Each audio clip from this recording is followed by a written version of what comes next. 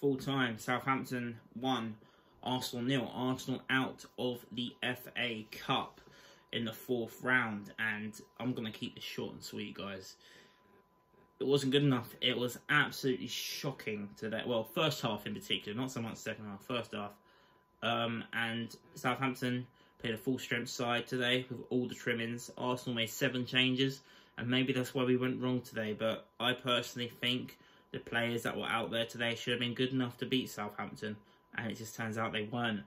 And once again, Pepe, I don't think he was too terrible, but compared to the likes of how Saka and Smith Rowe have been playing, he is terrible. And I think we need to cut our losses. And we're not going to do it in January, but we should cut our losses in January. And not sorry, in January, in the summer. And he should be gone. Willian, fucking useless, played 90 minutes as well. Did nothing in the whole game. Was an absolute liability. Was terrible. Nketiah, I don't like going on you, but you're not good enough either.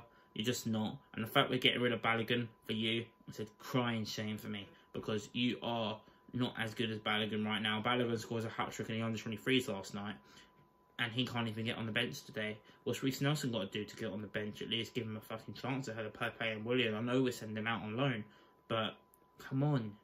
Like, let's go through the game.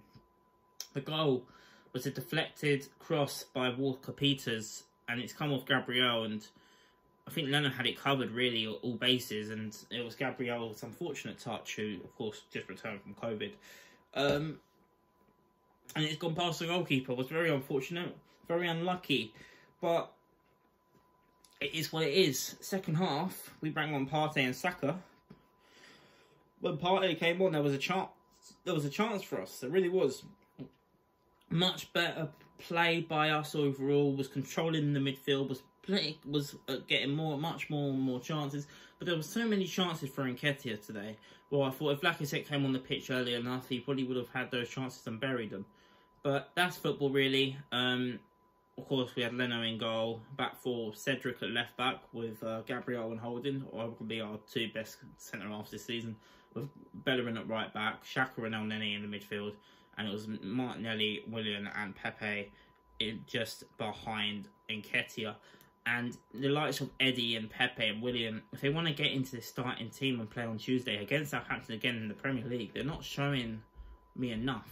You know, Smith Rowe, Saka, gets back in the team. Of course they do. They're the two wonder kids this season. Aubameyang gets back in the team easily. Martinelli played an hour, was alright. For me, should have stayed on the pitch. But he's just coming back from an injury, so that's kind of understandable if he's not fully fit and he can't play a full 90. But it's just, it's deflating. It's, it's really, really deflating losing that game. The momentum that we had going into it, we played, we made seven changes. Southampton, of course, rested players in the Shrewsbury game um, that they played in the cup in the week get this opportunity to play us, and uh, that's allowed them to go full strength tonight. Well, not tonight, this afternoon. We always play at night, that's why I'm getting confused. Um, and it's cost us. It's cost us. We've made seven changes. They've made, gone full strength. They've gone for it. Fair play to them, and they've won the game and they, they did deserve to win that game based on the first half in particular. We were we were lackluster, we were poor, and Southampton they were high energy and high press, and they deserved to win the game. There isn't really much else to say apart from that. It's going to really wrap it up here. So uh, we're back on Tuesday. Thank you for you for the guys who uh, tuned into the stream. I know it was an early one, but thanks for that. I do appreciate it. Not letting these guys ruin my weekend. It is an aim three points drop, but we are out of our competition in the FA Cup, so we won't be winning the FA Cup once again this season. But it is what it is. Like this video if you enjoyed, subscribe if you're new. A lot of players need to leave this club in the summer, and hopefully there'll be a massive clear out, and you know these players will go. But until then, they're still going to be on an Arsenal player, and I've still got to support them, I guess. So, yeah, like this video if you enjoyed, subscribe. Uh, subscribe. If you're new, I'll be back for well.